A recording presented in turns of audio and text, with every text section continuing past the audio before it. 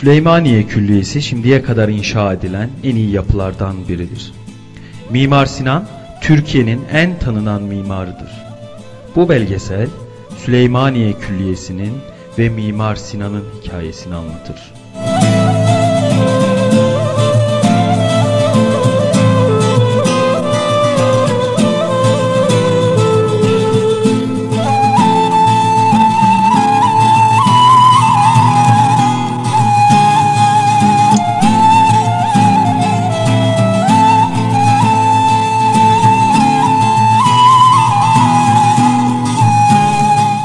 Süleymaniye Külliyesi İstanbul'daki bir tepenin zirvesine kurulmuştur. Kanuni Sultan Süleyman için inşa edilmiştir. Mimarı ise Sinan'dır. Ortada bir cami vardır. Caminin etrafında Evvel Medresesi, Sani Medresesi ve kütüphane, Darül Tıp, Darül Şifa, İmarethane, Taphane, Salis Medresesi, Rabi Medresesi, Hamam, Darül Hadis ve Darül Kurra vardır. Bunlara ilaveten Hürrem Sultan Türbesi'ni, Kanuni Sultan Süleyman Türbesi'ni ve Mimar Sinan Türbesi'ni görürüz.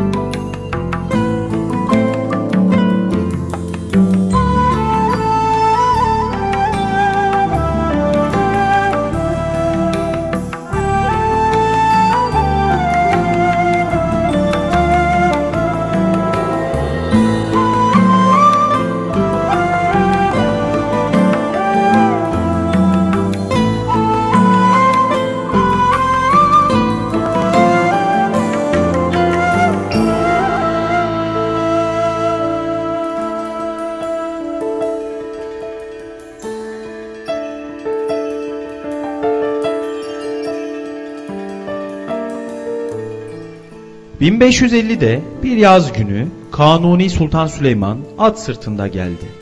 Din adamları ona eşlik ediyordu. Korumalar fakirlere sadaka verdiler. Hayırlı bir başlangıç için koçlar kurban edildi. Biri Kur'an'dan ayetler okudu. Daha sonra Şeyhlül İslam temele ilk taşı koydu. Sinan caminin temeline büyük özen gösterdi. Mesela caminin temelinde ardıç ağacından yapılmış devasa kazıklar kullanıldı. Depremlerin yıkıcı etkilerini azaltmak için zemine devasa kazıklar yerleştirildi. Dolayısıyla depreme dayanıklı bir temel sistemi geliştirdi. Cami deprem sırasında her yöne 5 derece yatabilmektedir. 1557'den beri arka arkaya güçlü depremler yaşamasına rağmen hala dimdik ayaktadır. Caminin inşaatında uzun ömürlü malzemeler kullanmayı tercih etti. Örneğin caminin duvarlarında Marmara Denizi yakınlarından çıkarılan bir taş kullanıldı. Bu taş dayanıklılığı ile bilinmektedir. Caminin dört minaresi İslam'ın ilk dört halifesini sembolize eder. Minarelerdeki on şerefe Sultan Süleyman'ın Osmanlı İmparatorluğu'nun 10. sultanı olduğuna işarettir. Minarelerden iki tanesi üç şerefelidir. Üç şerefeli minareler 76 metre yüksekliğe sahiptir. Diğer iki minare iki şerefelidir. İki şerefeli minareler ise 56 metre yüksekliğe sahiptir.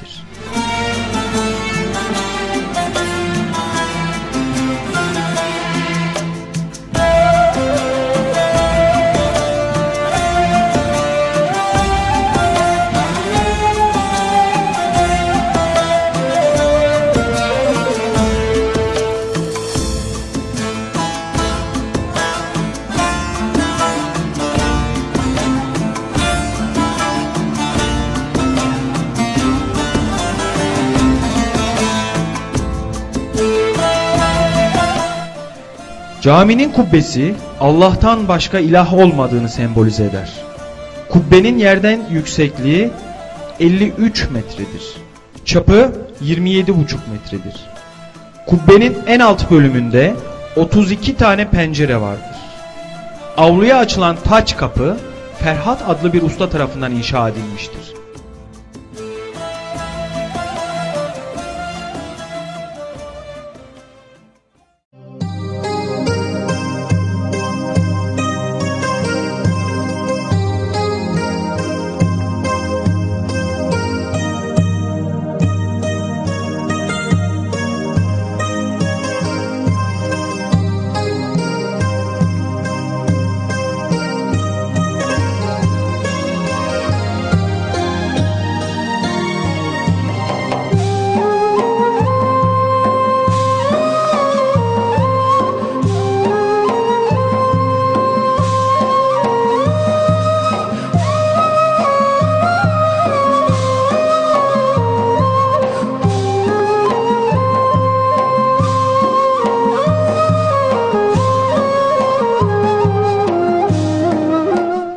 Avlunun etrafındaki revaklar sadece güzel değil, aynı zamanda işlevseldir.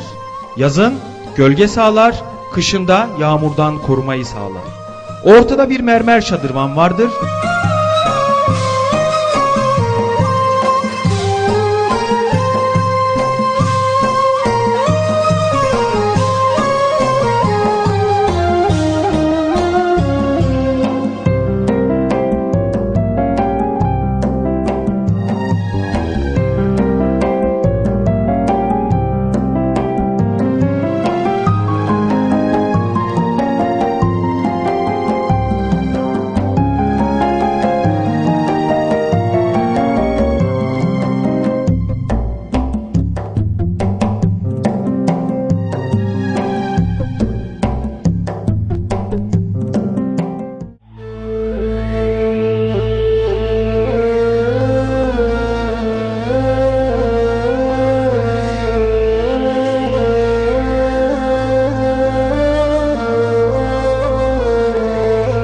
Camiye girerken mekansal bütünlüğü, estetiği, simetriyi, zerafeti görürüz. Hissettiğimiz ise sadece huzurdur.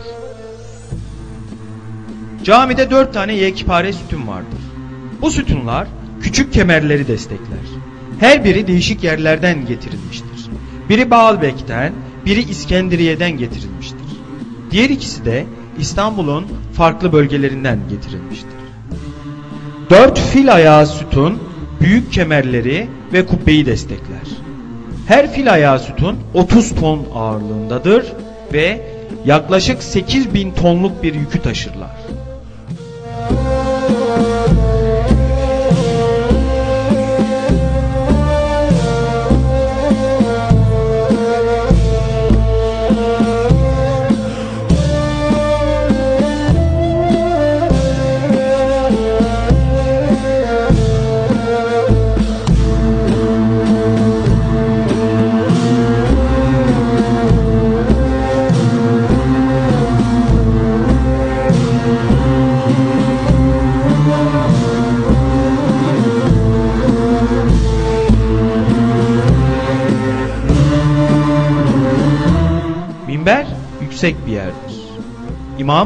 Cuma hutbesini, Ramazan bayramı hutbesini ve Kurban bayramı hutbesini buradan okur.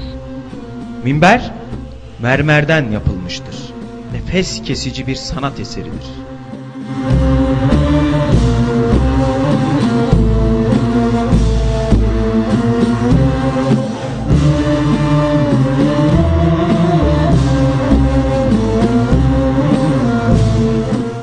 Minberin solunda mermer bir mihrap vardır. Mihrap duvarda bulunan bir oyuktur. Mekke'deki Kabe yönünü gösterir. Mihrabın çevresinde ise İznik çinileri bulunmaktadır.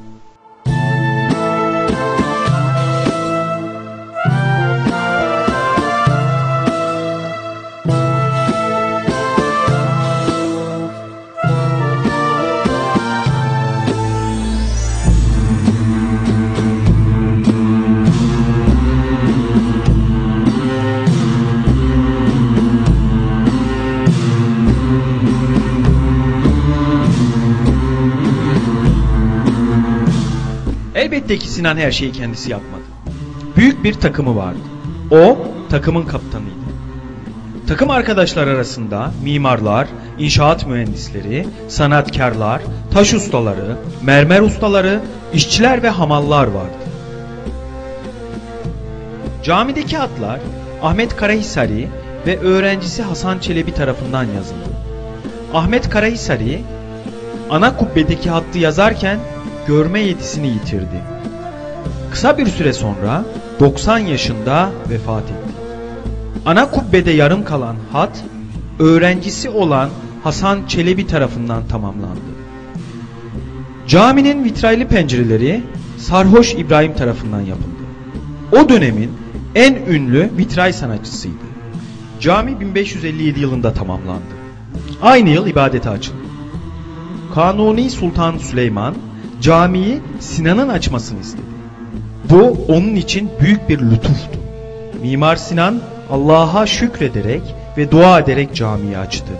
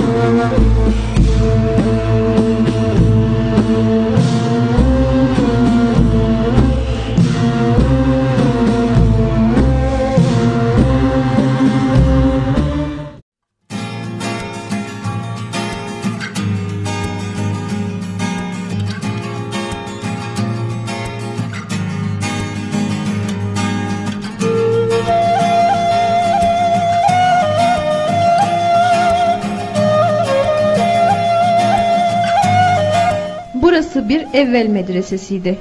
4 ile 6 yaş arası çocuklar buraya gelirlerdi. Alfabeyi ve sayıları burada öğrenirlerdi. Kur'an okumayı ve Kur'an'dan bazı sureleri burada öğrenirlerdi.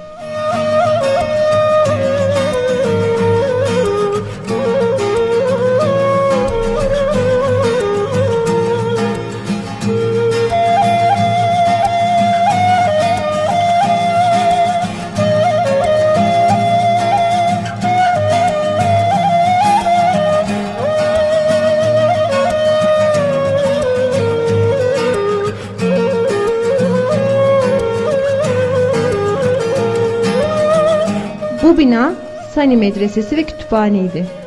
Öğrenciler medreseye dil, matematik, fen ve Kur'an tahsil etmek için devam ederlerdi. Kütüphaneye gelince kütüphanede yaklaşık 110 bin el yazma eseri bulunmaktadır. Bu yapı öğrencilerin tıp öğrenimi gördüğü bir yerdir.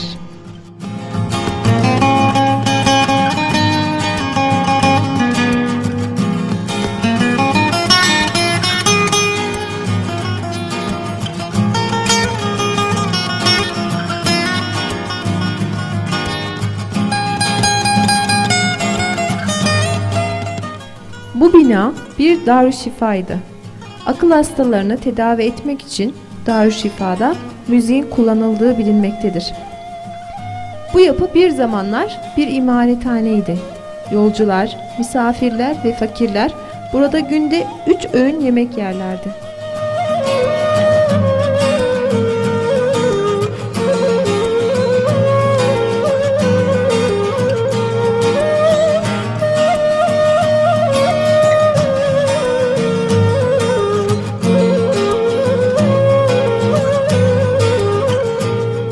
Bu bina bir Salis medresesiydi. Öğrenciler burada astronomi, matematik ve Arapça öğrenimi görürlerdi. Bu yer bir Rabi medresesiydi. Dersler arasında tabet, tarih, geometri, edebiyat, fıkıh ve kelam vardır. Burası bir hamamdır. Hamamda kadınlar ve erkekler için farklı bölümler vardır. İslam'a göre temizlik çok önemlidir. Temiz olmadan namaz kılamazsın. Kur'an okuyamazsın, oruç tutamazsın. Süleymaniye Külliyesi'nde eğitim veren hocalar, külliyede öğrenim gören öğrenciler, külliyeyi ziyaret eden yolcular temizlenmek için bu hamama gelirlerdi. Bu bina bir darül hadisti. Öğrenciler buraya peygamberimizin sözlerini ve uygulamalarını öğrenmek için gelirlerdi.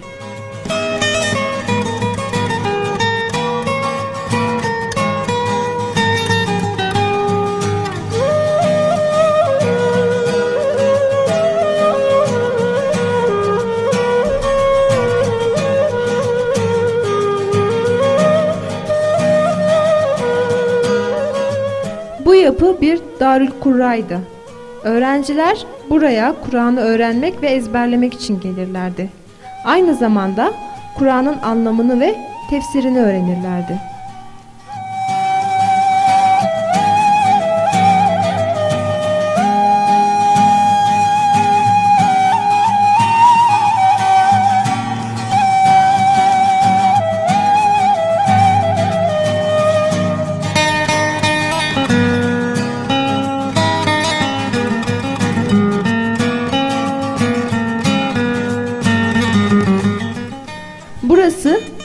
Sultan'ın türbesidir. Hürrem Sultan, Kanuni Sultan Süleyman'ın hanımıydı.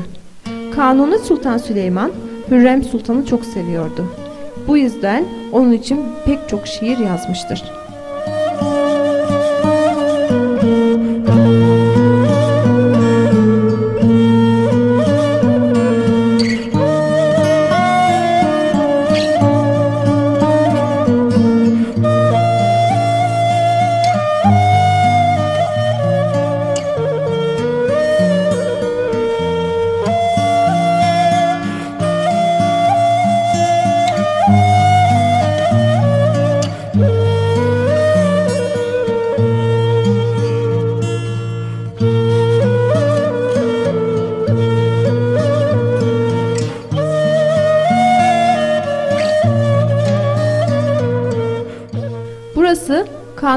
Sultan Süleyman'ın türbesidir.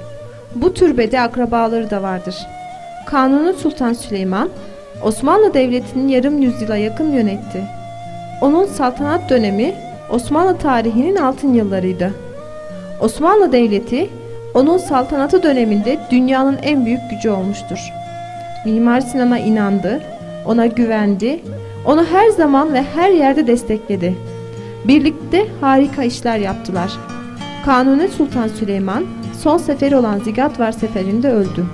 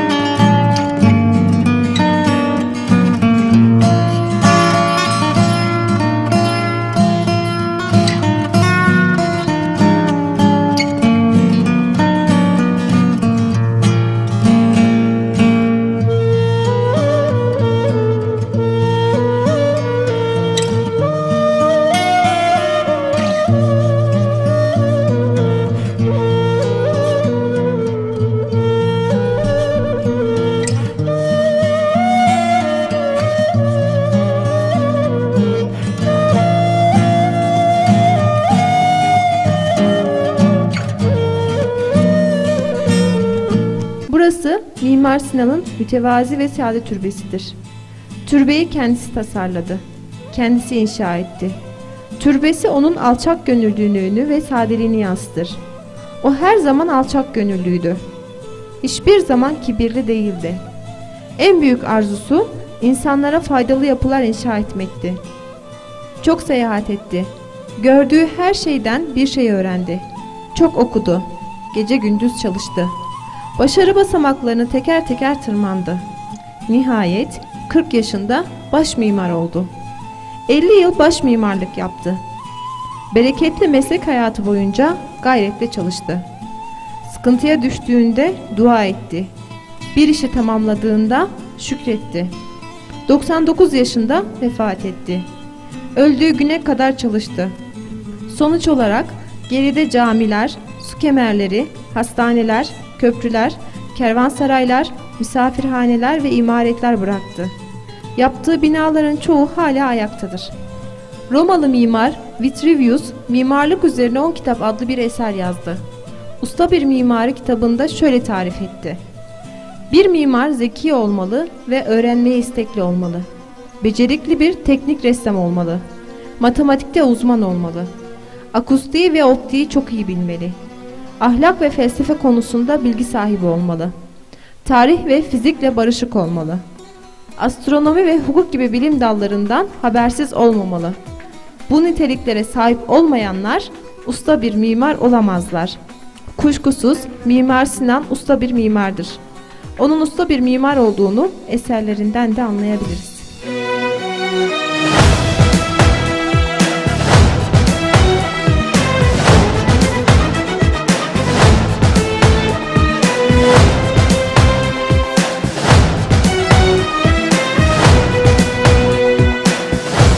Arıyor İstanbul eski günleri. Geceler kahroldu çöktü İstanbul. Ellerini açmış minareleri. İçini Allah'a döktü İstanbul. Ellerini açmış minareleri. İçini Allah'a döktü İstanbul. Ağladı boynunu büktü İstanbul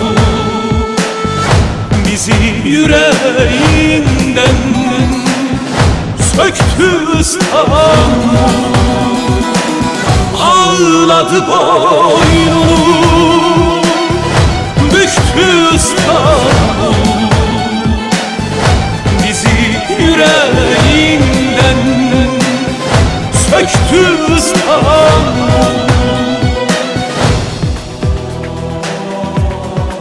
Ah İstanbul'a Bilirim matemlisin.